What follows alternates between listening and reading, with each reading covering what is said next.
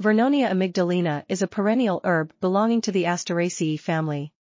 Its extracts have been used in folk medicines as remedies against helminthic, protozoal and bacterial infections.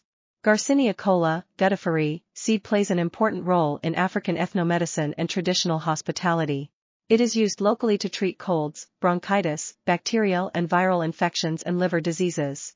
The Garcinia biflavonoids mixture called kolaviron has well-defined structure and an array of biological activities including antioxidant, antidiabetic, antigenotoxic and hepatoprotective properties. This article is titled Antioxidative and Chemopreventive Properties of Vernonia amygdalina and Garcinia biflavonoid, and was authored by Olatunde Owoeye and Ebenezer Farombi. We are, RTCL.TV, links in the description below.